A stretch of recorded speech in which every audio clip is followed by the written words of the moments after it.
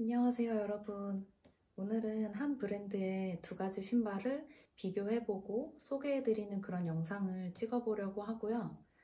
브랜드는 마르지엘라예요. 그리고 부츠랑 로퍼 이렇게 두 가지 제품을 준비를 했고 뭐 새 제품 unboxing 영상은 아니고 제가 그동안 신어보고 뭐 어떤 점이 좋았다, 뭐 장점이나 단점 아니면 코디를 어떻게 할 수 있는지 그런 얘기들을 좀 해보려고 하고요. 먼저 이 마르지엘라라는 브랜드는 굉장히 미니멀 하면서도 좀 아방가르드한 그런 스타일을 추구하는 브랜드예요. 그리고 좀 기하학적인 패턴도 많이 쓰고 좀 유머러스하고 그런 예술적인 부분들도 많이 보여주고 있는 그런 브랜드이기도 해요. 근데 이 소개해드릴 신발 라인은 워낙 유명한 타비 라인이고요. 로퍼랑 부츠 이렇게 두 가지입니다. 아니 그래가지고 제가 오늘 원래 그 컬렉션을 가거나 막 초청받아서 가면은 그 브랜드의 옷을 입고 가잖아요. 그래서 제가 오늘 마르지엘라 티셔츠를 입고 리뷰를 하려고 이렇게 갈아입었어요. 이게 얼마 전에 사가지고 배송 온 건데 굉장히 크죠. 근데 이 프린트가 너무 예뻐가지고 세일하길래 샀거든요. 그래서 이렇게 보시면은 아, 그 스티치 이게 마르지엘라의 상징 이게 딱 잘 붙어 있죠.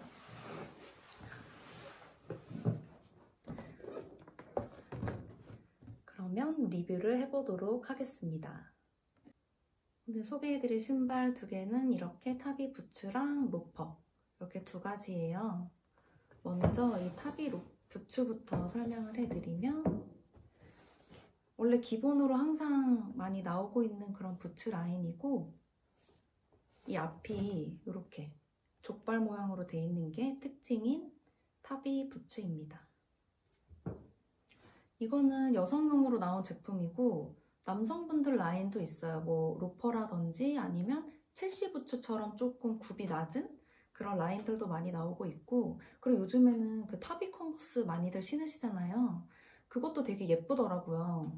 그 남성분들이 조금 코디를 캐주얼하게 하시거나 그랬을 때 되게 잘 어울리는 것 같고 이런 부츠들 같은 경우에도 저는 어, 여자들이 신었을 때도 되게 예뻤는데 남성분들이 신었을 때 되게 예쁘다라고 생각했던 게 약간 정장이나 아니면 좀 드레시하게 입었을 때도 되게 잘 어울리는 것 같더라고요. 그리고 이 부츠 같은 경우에는 저는 매치스 패션에서 구매를 했고 사실 마르지엘라는 직구하는 게 답이에요. 국내 매장은 가격이 조금 높은 편이어가지고 저는 대부분 직구를 하고 있어요. 이 티셔츠도 직구했고 이 부츠, 뭐 가방 다 해외에서 샀고요. 이 마르지엘라 신발 같은 경우에는 22번 라인이에요. 마르지엘라 제품들은 다 제품마다의 고유 컬, 그 넘버링이 있어가지고 그 제품의 표기를 따로 하거든요. 이 박스도 보시면은 이렇게 22번에 동그라미가 쳐져 있죠. 그럼 이게 22번 라인이라는 이런 표식입니다.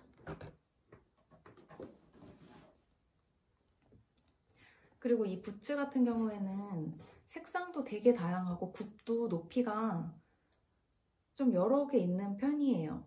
뭐 낮은 것도 있고 뮬도 있고 컨버스도 있고 색상도 화이트, 와인, 브라운, 카키 되게 다양하게 있고요. 저는 사실 무난하게 아무데나 신기 좋은 블랙을 택했고 사실 요즘에 화이트도 되게 사고 싶어가지고 알아보고 있는 중이긴 한데 구매를 할지는 잘 모르겠어요.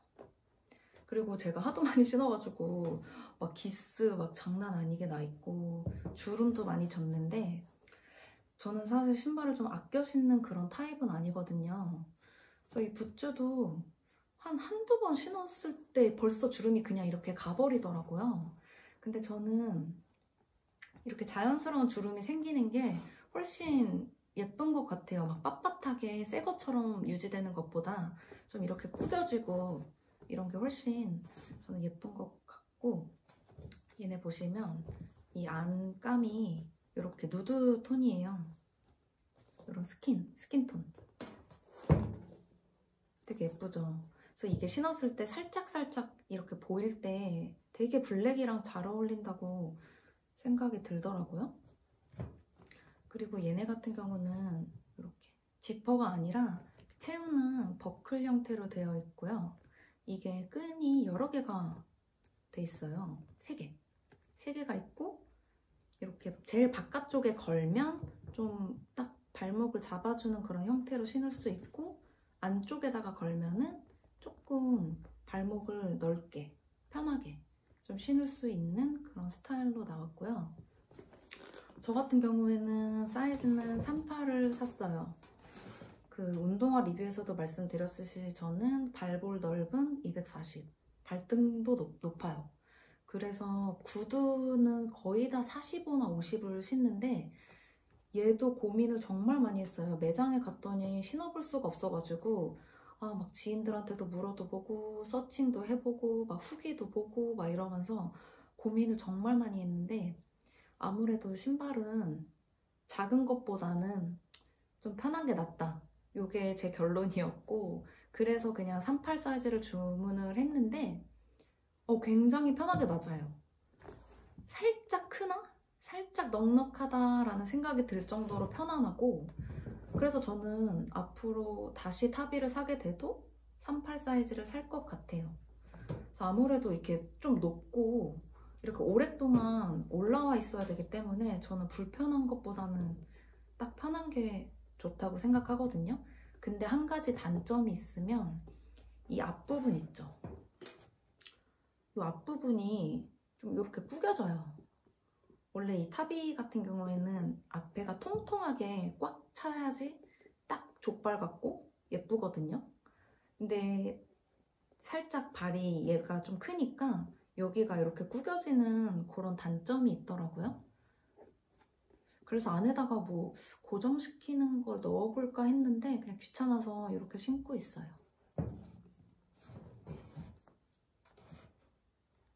그리고 두 번째 제품은 로퍼. 이렇게 생긴 로퍼고 굽도 이 정도로 좀 낮은 그런 로퍼예요. 형태는 약간 기본 여성분들 신으시는 로퍼랑 비슷하게 생겼는데 이 앞부분이 완전 뾰족하거나 각지거나 한 게 아니라 약간 둥글면서도 살짝씩 이렇게 알값이 들어가 있어가지고 아, 알값이랜다. 이렇게 살짝 네모나면서 좀 둥근 그런 두 가지 형태를 다 가지고 있어가지고 좀 매력적인 신발 모양이라고 생각을 하고요. 그리고 이 아웃솔 같은 경우에도 약간 오버솔처럼 이렇게 나와 있거든요. 되게 예쁘죠? 그리고 얘도 마찬가지로 안감이 이렇게 스킨톤, 스킨톤이고 뒤에도 똑같이 스티치가 들어와 있습니다. 이 신발 같은 경우에도 제가 38 사이즈를 구매를 했는데 아무래도 로퍼다 보니까 얘보다는 잡아주는 게 없어서 막 발이 살짝씩 들리더라고요. 그래서 좀 불편했어요. 그래가지고 이 뒤에다가 약간 패드? 이 신발 패드 같은 거 붙여가지고 약간 발을 좀 잡아줄 수 있게 이렇게 부착을 해서 신고 있고요. 그래도 불편하진 않아요. 편한데 살짝 들린다? 그런 단점이 있어서 발목까지 올라오는 양말이랑 같이 코디를 많이 하고 있어요.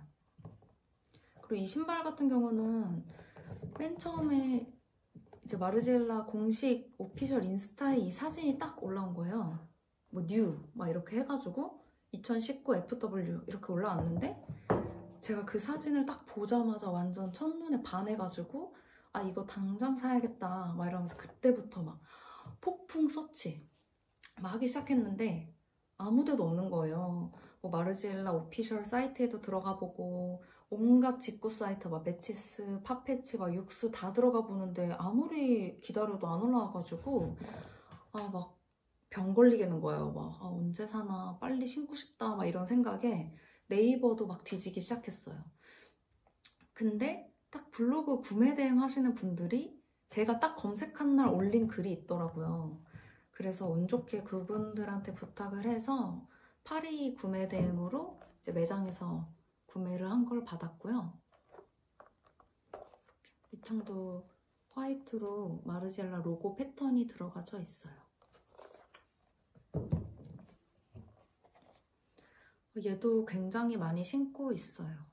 이 부츠랑은 되게 좀 더 다른 매력인 것 같아가지고 되게 흔하지 않은 디자인이잖아요. 그리고 얘는 워낙 옛날부터 많이 나오던 디자인이라서 사람들이 굉장히 많이 아는 그런 스테디셀러인 반면에 이 로퍼 같은 경우에는 되게 특이하고 어 이런 것도 있었어? 라는 그런 질문을 받을 정도로 되게 흔하지 않은 그런 shape이라서 저도 되게 소장 가치가 있다고 생각하는 그런 로퍼입니다. 이렇게 보시면 여기 버클이 이렇게 있어가지고 이렇게 걸어서 신는 그런 방식으로 되어 있고요. 저는 오늘 일단 부츠컷 팬츠를 입었어요. 그래서 이런 느낌?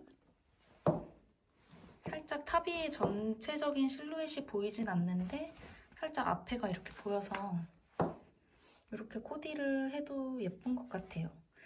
저는 이런 부츠컷에도 많이 신고 아니면 완전 다리 보이게 해가지고 치마 같은 데도 자주 코디를 하는 편이거든요.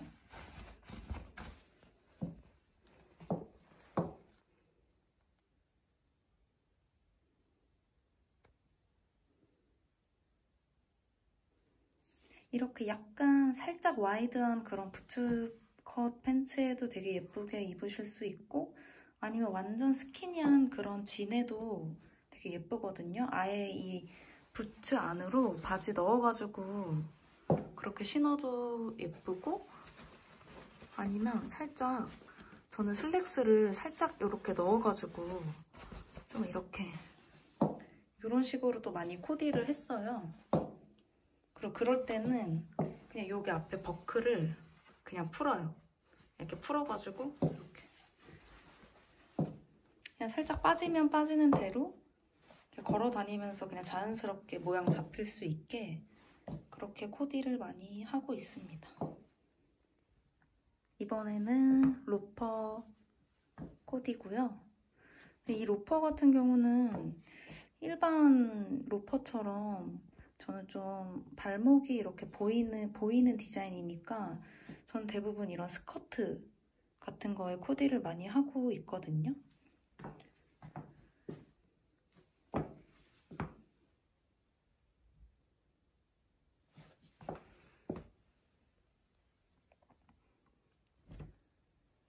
그래서 아까 제가 티셔츠 되게 크다고 했잖아요.